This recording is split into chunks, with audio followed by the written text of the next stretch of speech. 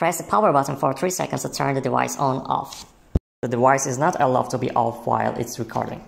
Press the start button and then select yes. Next, press menu button to confirm start recording. While the device is running, press the stop button, then select yes, and press the menu button to confirm stop. Press menu button and hold for 3 seconds to enter the menu. Press stop button to select different options and press menu button to view details. Enter the display settings menu to adjust backlight brightness, backlight time, and date format. At the main screen, press menu button to view the max, mean, and average values. Open the ELITech iCold app.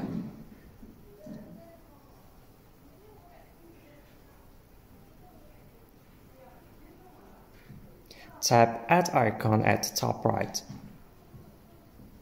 Scan the QR code on the device. Fill in the device name and select your time zone.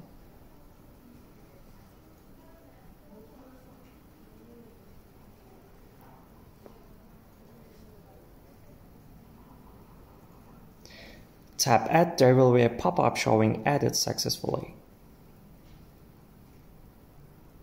Go back to main page to check on the device that has been connected successfully. Click the device to view the device information. In device information, click the device to set parameters. Go to data, select the time period, click generate report.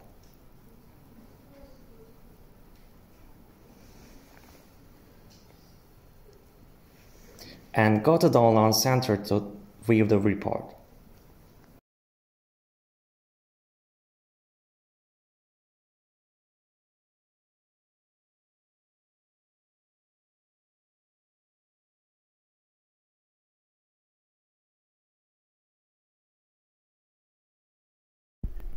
Go to Graph, select the time period to view the graph.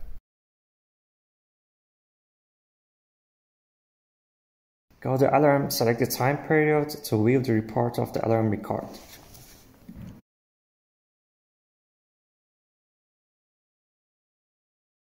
Go to Notification, you may select the notification either by SMS or email.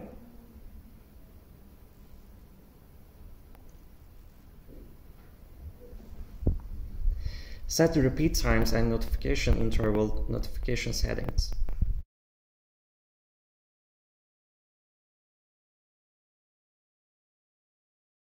Select the alarm category that you need to receive in alarm category and early warning.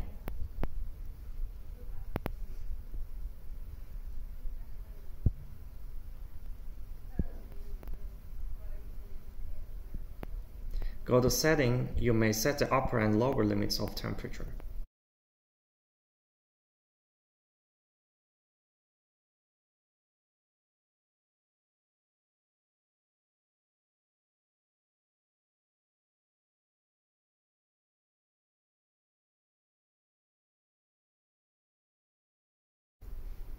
and humidity in the sensor parameters.